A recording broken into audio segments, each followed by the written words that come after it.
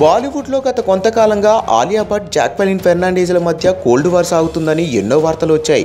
దీనికి కారణం young hero Siddharth Malhotra. ఇండస్ట్రీకి వచ్చిన కొత్తలో సిద్ధార్థ్ మల్హోత్రా ఆలియా భట్ ప్రేమించుకున్నారనే విషయం బాలీవుడ్లో అందరికీ తెలుసు. అయితే వీళ్ళిద్దరి మధ్యలోకి జాక్వెలిస్ ఫెర్నాండీస్ ఎంటర్ అయింది. దీంతో సిద్ధార్థ ఆలియా మధ్య దూరం పెరిగిందంటూ కథనాలు పుట్టుకొచ్చాయి. కాకపోతే సిద్ధార్థ తనకు బెస్ట్ ఫ్రెండ్ మాత్రమే అంటుంది జాక్వలిన్.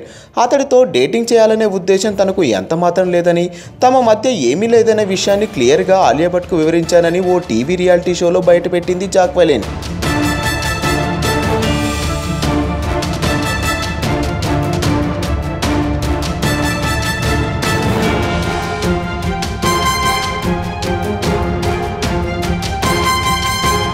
తాజాగా ఇద్దరు ముద్దుగుమ్మలు తమ మధ్య ఎలాంటి గొడవలు లేవని మరోసారి నిరూపించుకున్నారు. రియల్ లైఫ్లో తామంతా ఒకటేనని చాటి చెప్పే ప్రయత్నం చేశారు. దీపావళి రోజు ఓ సెలబ్రిటీ ఫంక్షన్కి వెళ్ళినప్పుడు ఆలియా భట్ జాక్వెలిస్ ఫెర్నాండేజ్ ప్రేమతో ముద్దు పెట్టుకున్నారు. అక్కడే ఉన్న ఫోటోగ్రాఫర్ క్లిక్ అనిపించారు ఈ ఫోటో సోషల్ మీడియాలో ఇప్పుడు వైరల్ అవుతుంది.